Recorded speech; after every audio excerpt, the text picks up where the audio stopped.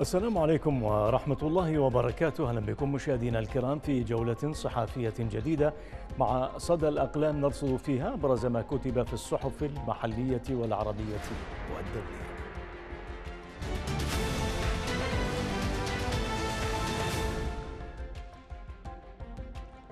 نبدأ مشاهدينا الكرام من صحيفة كتابات ومقال بعنوان الأمية آفة تنخر المجتمع العراقي للكاتب ماجد زيدان. تضاربت الإحصاءات الرسمية مع إحصاءات المنظمة الدولية بشأن الأعداد للأميين في البلاد فقد أعلنت وزارة التربية أن الأمية انخفضت بنسبة 8% في السنوات العشر الماضية بحسب البيانات الرسمية أي أن عدد الأميين في العراق بلغ ثلاثة ملايين وسبعمائة ألف أمي. ولكن تقريرا لمنظمة يونسكو تضارب مع هذه الأرقام الحكومية وقد تضمن التقرير أرقاما تصل إلى 12 مليون أمي في العراق وهذا ما نفته وزارة التربية. بيانت التخطيط أن نسبة الأمية في العراق بين السكان الذين تزيد أعمارهم عن عشر سنوات. ترتفع بين الإناث لتصل إلى 18% فيما تنخفض بين الذكور إلى 8% وما يزال المنبع الرئيسي للأمية هو عدم الالتحاق بالمدارس حيث بلغت نسبة الملتحقين بالصف الأول الابتدائي 93% وهو أقل مما كان عليه قبل التغيير عام 2003 والتي بلغت 100% وأعداد المتسربين هي الأخرى عالية. إلى ذلك تطبيق قانون التعليم الإلزامي وملاحقة المتخلفين عن الالتزام به ضعيفة جدا. وتستلزم المعالجة لهذه المشكلة المتشعبة أن تعترف وزارة التربية بوجودها والاستماع للذين ينتقدونها ويشخصون تدهور التعليم في البلد. ولا تستفز مما يدلون به ومحاولة تغطية الشمس بغربال. إن ذلك هو الخطوة الأولى نحو معالجة جادة ومسؤولة والمحزن أن متخرجين من مراحل متقدمة بالدراسة هم غير قادرين على القراءة والكتابة بطلاقة بل لا يتقنون الحد الأدنى منهما وهم بصورة وأخرى يدخلون في عداد الأميين وليس أدل على ذلك أنه لا تتجاوز نسبة الملتحقين بالدراسة الإعدادية الثلاثين في المئة.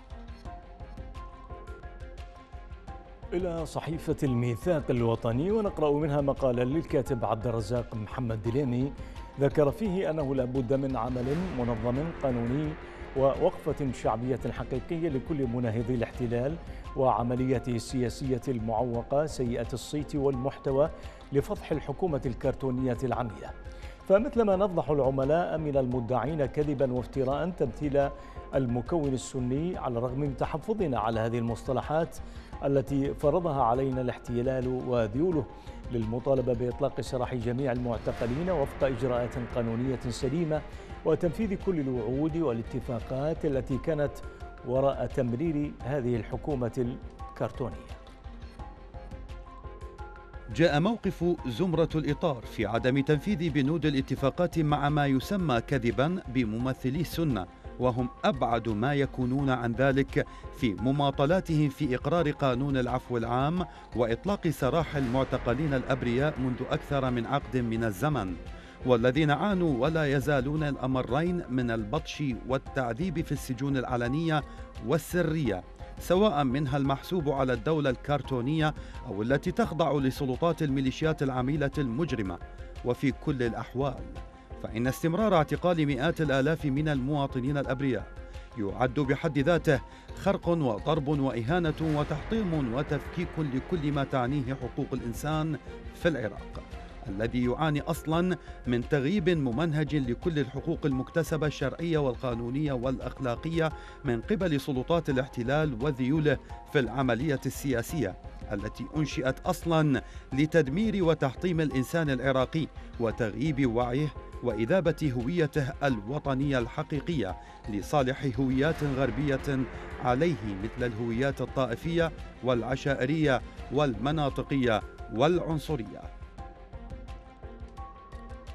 ذكر صحيفة لوموند الفرنسية أن مدينة درنا الليبية توصل إحصاء قتلاها ومن لم يعثر عليه يدفن على عجل. ومن لم يعثر عليه فيدفن على عجل خوفا من انتشار الأوبئة. هذا ولا يزال آخرون في عداد المفقودين. إذ دمرت أجزاء من هذه المدينة الساحلية في شرق ليبيا بعد مرور إعصار دانيال. المنظمة الدولية للهجرة أكدت أن ما لا يقل عن 30 ألف شخص نزحوا داخل مدينة درنا التي يبلغ عدد سكانها 100 ألف نسمة. وتمكن أكثر من ثمانية آلاف من الفرار إلى مناطق أقل تضررا من الكارثة ولا تزال هناك شكوك بشأن العدد الدقيق لقتل الكارثة. الارتباك يسود في درنا في ظل عدم استقرار الوضع ويوضح أنه إذا تمت استعادة الخدمات العامة الأساسية في مدينة البيضاء الواقعة على بعد 200 كيلومتر شرق بنغازي والتي تأثرت هي نفسها بالإعصار. فإن درنا الواقعة على بعد 100 كيلومتر أبعد. تظل معزولة لا يوجد بنزين ولا كهرباء ولا اتصالات سلكية أو لا سلكية. لقد تعرضت الشبكة لضربة قوية وبالتالي نحن أمام كارثة كبرى. تقدر الإدارة المسؤولة عن شبكات الطرق والجسور أن 30 كيلومترا من شبكة الطرق منهارة تماما. في درنا وما حولها. مما يزيد من تعقيد عمليات الإنقاذ والتي لم تصل بعد إلى المناطق المحيطة بها مثل منتجع سوسة الساحلي. وبعد الكارثة استيقظت المنطقة على ندوب أخرى من الصراع الطويل الذي وضع المعسكرات المختلفة ضد بعضها البعض عسكريا. وحذر إريك تولفسين رئيس وحدة التلوث بالأسلحة التابعة للجنة الدولية للصليب الأحمر من خطر الذخائر غير المنفجرة التي تم نقلها إلى مناطق كانت خالية من التلوث في السابق بسبب مياه الفيضانات. وحذر من أن ذلك يضع المزيد من المخاطر على الناجين والمسؤولين عن المساعدات الإنسانية. نشرت مجلة إيكونوميست تقريرا بشأن إعصار دانيال الذي ضرب ليبيا وزلزال المغرب أيضا وربطت الحدثين بالإهمال القاتل من ساسة المغرب وليبيا. فبعد الكارثتين رفضت السلطات المساعدة وتركت القتلى يعانون أو المصابين ففي ميناء درنا الواقع على واد انهار سدان ومحت المياه المتدفقة منهما أحياء سكنية. تقول المجلة إن الكارثة التي تبعتها أخرى تحمل حسا قياميا إذ نشر الكثير من المشاهد التي تقطع القلوب على قنوات التلفزة العربية. وحيث يبحث الناس عن أحبائهم في البيوت التي دمرها الزلازل أو زلزال أو تلك التي غرقت في المياه ومع تحول الأيام إلى ساعات أصبح الحزن غضبا. وهنا تقول إيكونومست لا يوجد ما هو مشترك بين المغرب وليبيا إلا أن ما يشترك به البلدان هو الرد المتكاسل على الكارثتين اللتين كانتا قاسيتين وبطريقة لم يتصورها أحد. مع قيام الحكومة المغربية بتجديد قواعد البناء في السنوات الأخيرة إلا أن الكثير من البيوت بنيت بطرق بسيطة وتهبط بشكل سريع في أثناء الزلزال. وفي القرى التي ضربت بشدة من زلزال هذا الشهر لم يكن لدى القرويين ما يمكنهم عمله لتعزيز أساسات بيوتهم. وبحسب أرقام البنك الدولي فإن واحدا من كل خمسة مغاربة يحصل على ثلاثة دولارات وخمسة وستين سنتا في اليوم مقارنة مع أربعة بالمئة في المدن. وهناك عامل آخر في البطء وهو البيروقراطية التي وجدت نفسها تواجه أعباء كبيرة وتحدث أشخاص عن تأخر شهادات الوفاة لدفن الموتى مما ترك الجثث تتعفن تحت الشمس. ولو كان الرد المغربي بطيئا إلا أن الرد الليبي كان فوضويا فقد كان لدى السلطات الليبية تحذيرات واسعة من إعصار دانيال الذي أغرق اليونان بالمياه قبل أسبوع من ضربه لليبيا. ومع اقترابه من درنا طلب عمدتها من خليفة حفتر الذي يتحكم بالمنطقة إجلاء سكان المدينة إلا أن الطلب تم تجاهله ولم يطلب من الناس مغادرة المدينة مع ارتفاع منسوب المياه حول السدين. نشرت مجلة بوليتيكو في نسختها الأوروبية تقريرا أعدته كلوديا تشيابا قالت فيه أن أوروبا أصبحت معبرا رئيسا لحبوب الكبتاغون المخدرة التي يستفيد منها نظام الرئيس السوري بشار الأسد مباشرة. وقالت الكاتبة أن المهربين يستخدمون وبشكل متزايد الدول الأوروبية لشحن حبوب الكبتاغون المخدرة من الشرق الأوسط إلى شبه الجزيرة العربية وفقا لتقرير جيد أو جديد صادر عن المركز الرصد الأوروبي للمخدرات والإدمان. وكذلك عن مكتب الشرطة الجنائية الفيدرالية الألمانية. وقال مؤلف التقرير إن تهريب هذا المخدر الذي يباع بالمفرد في الشارع بنحو ثلاثة دولارات للحبة الواحدة عبر أوروبا يهدف على الأرجح إلى تجنب الضوابط التي تفرضها السلطات في الأسواق المقصودة والتي من غير المرجح أن تشك في أن حبوب الكبتاغون المخدرة ستشحن من دول الاتحاد الأوروبي. تجارة الكبتاغون قد خلقت أعمالا تقدر قيمتها بنحو 57 مليار دولار. وربط إنتاج هذا المسكن على نطاق واسع بنظام الأسد في دمشق حيث كان لدى العديد من المسؤولين السوريين وأفراد عائلة بشار اتصالات مع شبكة تجارة المخدرات. وبحسب التقرير أكدت السلطات الألمانية أن تجارة الكبتاغون تتم تحت رعاية نظام الأسد الذي يستفيد بشكل مباشر من الشحنات. وأوضح التقرير أن الكبتاغون يمثل شريان حياة ماليا لآلة الحرب التابعة للنظام السوري. ووفقا للحكومة البريطانية التي كتبت في وقت سابق من هذا العام أن ماهر الأسد يقود وحدة في جيش النظام السوري والتي تسهل توزيع وإنتاج المخدرات. وقال التقرير إن أوروبا ليست سوقا استهلاكية مهمة للكبتاغون حيث يقع معظم السوق في بعض دول الشرق الأوسط ولا سيما السعودية والتي كانت الوجهة لبعض أكبر شحنات الكبتاغون في العالم خلال السنوات الأخيرة. هذه مشاهدينا وقفة قصيرة مع الرسوم الكاريكاتيرية.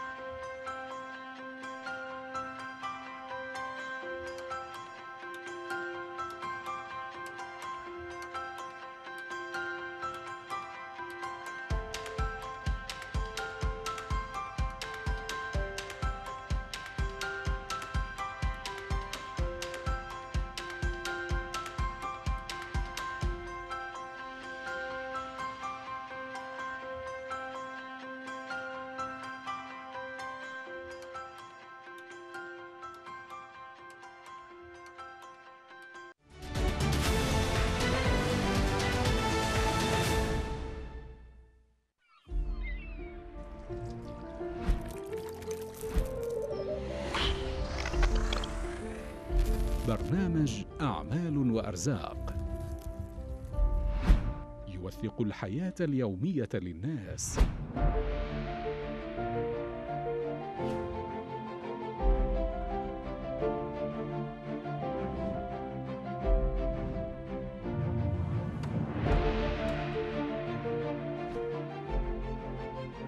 كيف بدأوا مشوارهم؟ وما هي طريقة إدارة أعمالهم؟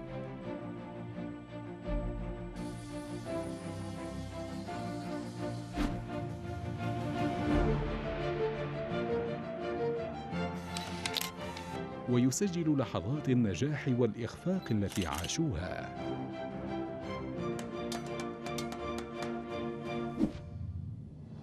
أعمال وأرزاق. يأتيكم في الأوقات التالية على قناة الرافدين.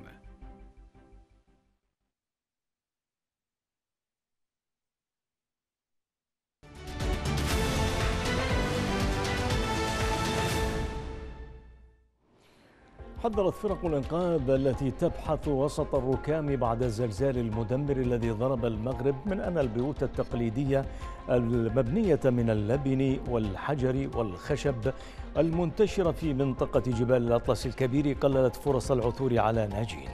وفي مركز الجيش بجنوب مدينة مراكش التاريخية غير بعيد عن مركز الزلزال. قال أحد أفراد الإنقاذ العسكري طالبا عدم كشف هويته بسبب قواعد الجيش التي تمنع التحدث لوسائل الإعلام. قال من الصعب انتشال أحياء لأن معظم الجدران والأسقف قد تحولت إلى تراب عندما سقطت ودفنت من كان في الداخل. ولطالما كانت المنازل التقليدية التي يبلغ عمرها أو عمر بعضها مئات السنين لطالما كانت مشهدا يحظى بالشعبية بين السياح المسافرين إلى الجبل من مراكش. وكثيرا ما تبني الأسر بنفسها هذه المنازل بنسق تقليدي ومن دون أي مساعدة من مهندسين معماريين وتجري الأسر توسعات كلما استطاعت في البناء.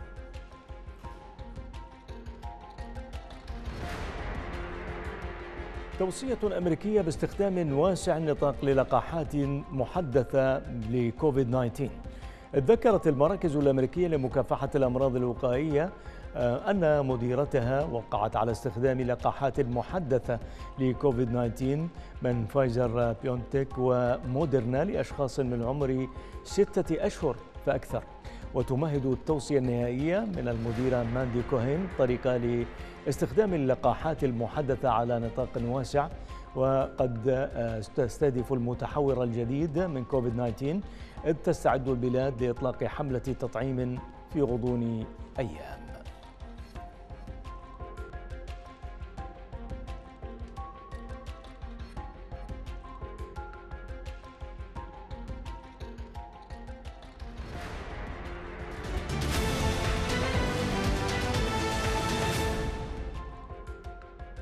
قبل الختام مشاهدينا الكرام نتابع المقطع المصور الذي اخترناه لكم من مواقع الصحف.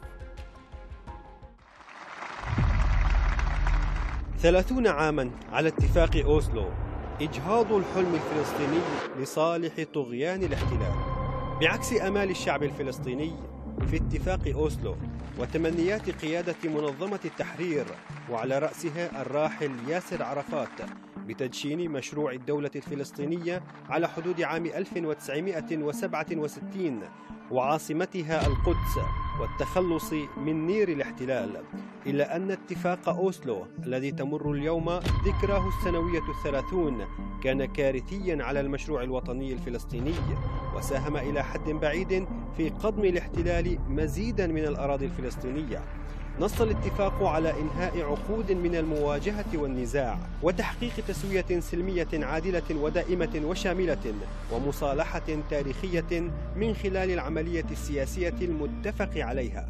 لكن مع مضي خمس سنوات على اتفاق أوسلو لم يلتزم الاحتلال بالتحول نحو مفاوضات التسوية الدائمة واستمرت الأوضاع على حالها حتى قمة كامب ديفيد عام 2000 بين الرئيس الأمريكي بيل كلينتون ورئيس الوزراء الإسرائيلي آنذاك إيهود باراك ورئيس السلطة الفلسطينية ياسر عرفات.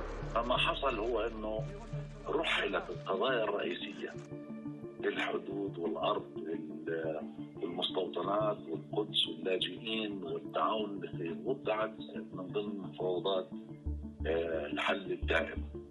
الذي كان المفروض أن يبدا أن يبدأ بعد 18 شهر من انتخابات التشريع الأول وأن تنتهي في مايو من العام 1999 ولكن للأسف إسرائيل أعلن آه، رابين أنه لا توجد هناك آه، مواعيد مقدسة. لم تفض تلك القمة إلى أي اتفاق.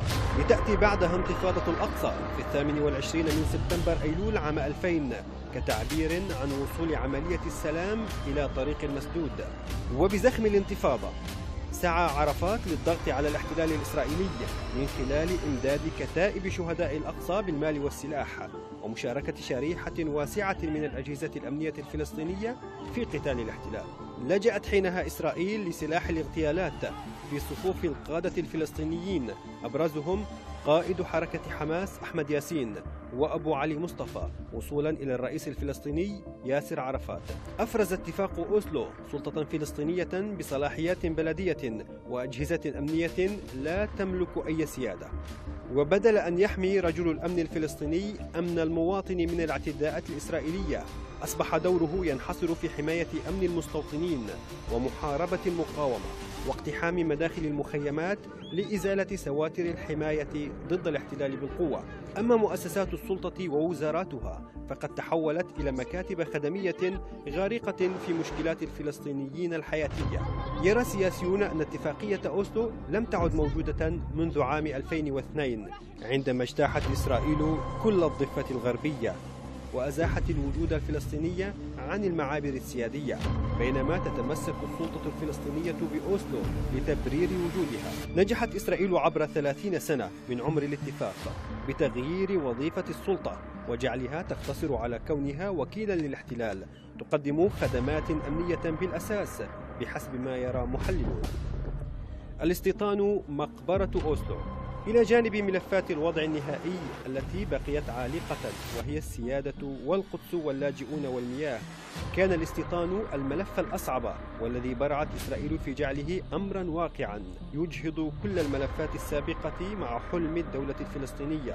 خلال ثلاثين عاما ارتفع عدد المستوطنين في الضفة الغربية بما فيها القدس بنسبة أكثر من 100% بحيث تجاوزت أعدادهم اليوم 700 ألف مستوطن بعد أن كان عددهم عام 1993 110 ألاف مستوطن فقط في الضفة وبنيت 27 مستعمرة وحيا استيطانيا استعماريا منذ أوسلو بحسب إحصائيات هيئة مقاومة الجدار والاستيطان. ما يزال الفلسطينيون يحاولون التحرر من هذا الاتفاق. الذي ترى سلطة الاحتلال أنه أصبح جزءا من الماضي ولم يبق منه سوى الفتات المتمثل بأجهزة السلطة الفلسطينية.